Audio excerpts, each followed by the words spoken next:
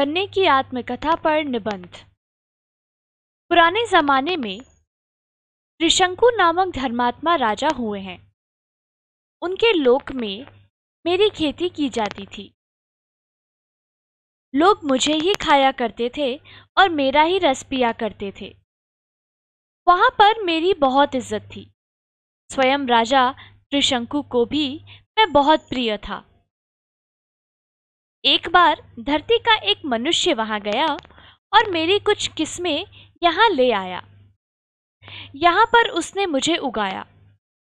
यहाँ पर भी मैं बहुत अधिक फला फूला। मेरी अत्यधिक इज़्ज़त की जाने लगी। इक्ष्वाकु वंश से संबंधित होने के कारण लोगों ने मेरा नाम इक्षु रख दिया, जो अब बिगड़ते बिगड़ते ईक हो गया है। वैसे मुझे गन्ना भी कहते हैं। आजकल मैं भारत, अरब और मिस्र आदि देशों में अधिक पैदा होता हूँ।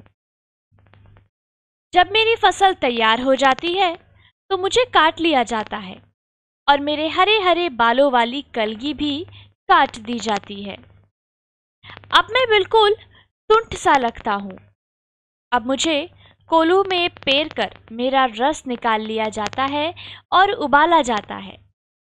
धीरे धीरे गाढ़ा होकर मैं खोए के रूप में बदल जाता हूँ।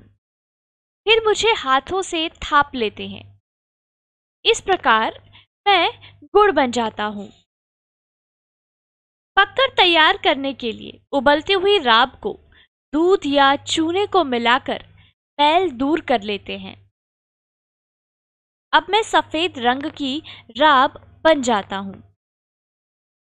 अब राब को धीमी आग में पकाकर शक्कर तैयार कर लेते हैं।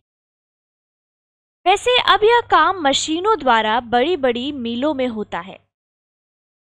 हमारे देश में भी अनेक चीनी की मिलें हैं। अपने उत्तर प्रदेश में ही काफ़ी चीनी की मिलें हैं। इस प्रकार मैं चीनी, मिठाई, गोलियाँ तथा टॉफियाँ आदि रूप में बाज़ार में आता हूँ। एक बात और आदमी के शरीर में बल और गर्मी पैदा करने के लिए कुछ शक्कर का होना आवश्यक है। लेकिन इसका मतलब यह नहीं कि तुम सारा दिन शक्कर और मीठी वस्तुएँ ही खाते रहो।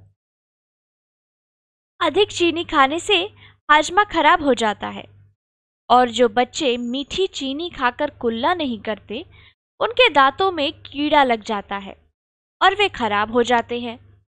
इसलिए इन बातों का ध्यान रखना चाहिए।